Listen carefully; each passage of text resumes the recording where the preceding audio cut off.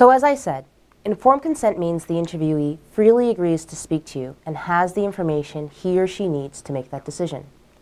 To obtain informed consent, follow these seven steps. Number one, you need to clearly identify yourself and any affiliation that you might have. For example, Hi, my name is Rose Paris Richter. I work for the Human Rights in Iran Unit, which is a research-based project at the City University of New York. Number two, tell your interviewee the goal of your research and inform them about what you plan to do with the information. For example, I'm writing a report on the treatment of juveniles in the Iranian criminal justice system. It will be published online in Farsi and English, and I'm submitting it to the UN. Number three, ask them if they have any questions about who you are and what you're doing, such as, do you have any questions for me about who I am, who I work for, or what I'm doing? Number four, often you'll be interviewing someone who is incredibly vulnerable. They may want you to help them with an asylum application, raise the profile of their case, or help them seek justice.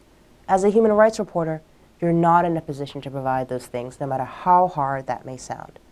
So you might want to say something like, Unfortunately, I can't help you with your court case, but what I can do is document and share your story with international bodies so that more pressure can be put on the government to reform its juvenile justice policies.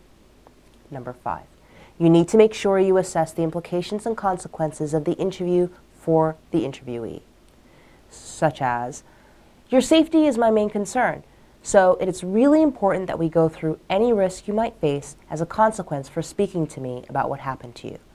Can you please tell me if there are any things that you're worried about?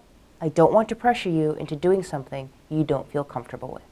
Number six, it's also important that you ask the interviewee how they want to be identified in your report.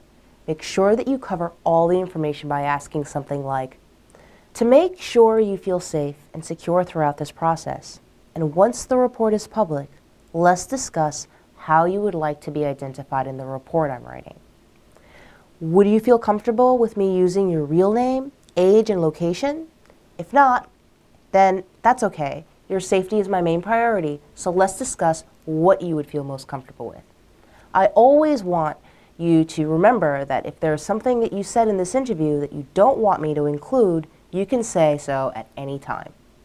Number seven, last but not least, you need permission to document the interview, and the interviewee must agree to your specific documentation method, whether this is written notes, audio, video, or some combination of all of them.